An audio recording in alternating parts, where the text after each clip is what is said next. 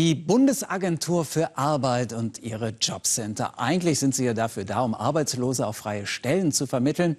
Doch das passiert immer seltener. Die Jobcenter machen es sich leicht und vermitteln gar nicht erst direkt an einen Betrieb, sondern gehen den für sie viel bequemeren Weg über eine Zeitarbeitsfirma, obwohl das oft gar nicht nötig ist.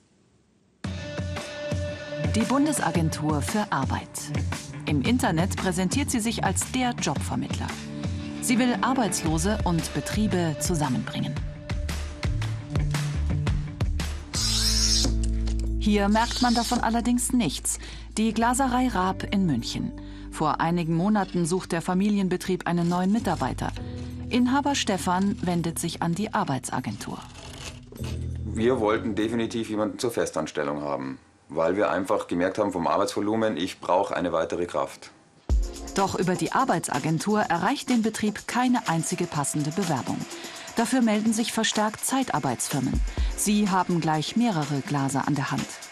Meiner Meinung nach ist es so gewesen, dass die Zeitarbeitsfirmen letztendlich den Job der Arbeitsagentur übernommen haben. Die haben geschaut, wer ist ähm, als arbeitsloser Glaser gemeldet, wer braucht einen Glaser. Weil es keine Alternative gibt, stellt die Glaserei einen Zeitarbeiter ein. Und zwar ihn, Florian König. Der 21-Jährige musste sich nach seiner Glaserausbildung erwerbslos melden bei der Arbeitsagentur Rosenheim. Also meine Erwartung war eigentlich, dass ich äh, möglichst schnell und effektiv, schneller als ich es jedenfalls kann, eine Arbeit kriege, die möglichst dann auch noch vielleicht sogar noch sicher ist oder in der Art, aber es war ja nicht der Fall. Die Arbeitsagentur schlägt ihm etliche Jobs vor, fast nur Zeitarbeit. Von der festen Stelle in München erfährt er nichts und landet erst über eine Zeitarbeitsfirma in der Glaserei. Für seine Mutter verkehrte Welt. Das war mir total fremd, dass das auf diese Art und Weise mittlerweile abläuft. Also ich habe wirklich gemeint, die Agentur für Arbeit, die ist der Ansprechpartner von Florian. Bei den Stellenvorschlägen muss die Bundesagentur für Arbeit tatsächlich nicht unterscheiden, ob es sich um einen Betrieb wie die Glaserei oder um Zeitarbeitsfirmen handelt. So steht es im Gesetz. Nur intern bewertet sie es inzwischen besser, wenn Arbeitssuchende langfristige Stellen finden. Arbeitsmarktexperten sehen die Vermittlungspraxis kritisch. Gut ist das auf gar keinen Fall, weil man damit natürlich einen Beitrag leistet, dass diese unterwertigen Beschäftigungsverhältnisse stabilisiert werden, weil keiner guckt mehr hin, richtig in was wird, wird denn dort vermittelt. Bei den gemeldeten Stellen der Bundesagentur für Arbeit kommen Ende dieses Jahres 34 Prozent aus der Zeitarbeit. In manchen Regionalagenturen sind es sogar 52 Prozent.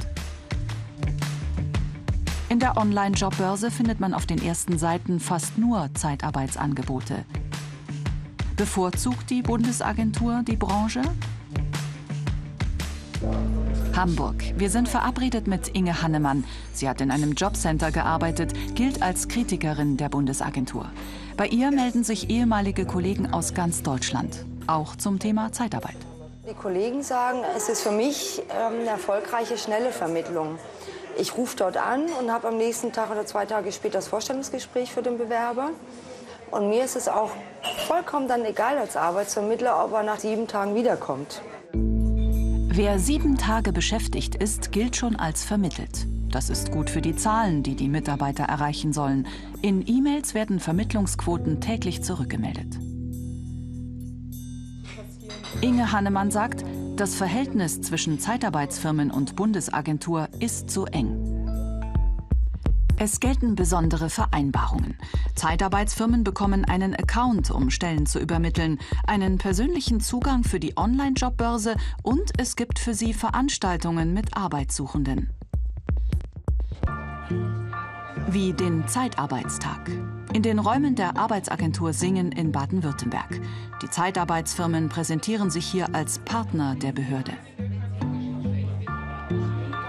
Sie schlagen mir wieder neue Bewerber vor, dass ich nicht immer die gleichen Gesichter bei uns habe, einfach wieder neues Personal aufkommt. Frische Mitarbeiter für die Zeitarbeitsfirmen, weniger gemeldete Arbeitslose in Singen. Beide Seiten sind zufrieden. wenn die Kunden, also unsere Zeitarbeitsfirmen, sagen, es hat sich rentiert, hierher zu kommen, wir haben genügend, genügend Nachfrage nach unseren Stellenangeboten erhalten, dann ist es für mich erfolgreich. Für die Bundesagentur ganz normale Veranstaltungen. Zitat: Die regionalen Agenturen für Arbeit entscheiden im eigenen Ermessen, wie sie im gesetzlichen Rahmen Serviceleistungen für den Arbeitgeber erbringen wollen. Der große Gewinner sind die Leiharbeitsfirmen. Denn die mit öffentlichen Mitteln finanzierte Infrastruktur der Stellenbörse, der Bewerberprofile, das können die Leiharbeitsfirmen quasi kostenlos nutzen, um ihr Geschäftsmodell, nämlich anderen Unternehmen Leihpersonal ähm, zur Verfügung zu stellen. Da können die sich kostenlos bedienen. Das Leihpersonal ist für kleine Betriebe oft richtig teuer. Die Glaserei in München kalkuliert für einen erfahrenen Glaser 3.500 Euro monatlich. 4.000 Euro waren es aber für den jungen Zeitarbeiter, weil die Verleihfirma mitverdient. Einfach anstellen darf die Glaserei den Zeitarbeiter auch nicht. In seinem Vertrag steht, erst nach zwölf Monaten kann er ablösefrei gehen, sonst berechnet die Zeitarbeitsfirma ein hohes Honorar. Der Glaserei war Florian König auf die Dauer zu teuer.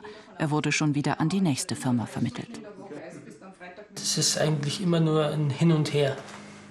Das, man hat nie die, die, Sicherheit, man hat nie das Geborgenheitsgefühl. Ich, man hat keine Motivation. Inzwischen arbeitet er nicht mehr als Glaser. Er schleift jetzt Plastikteile für den Autobau.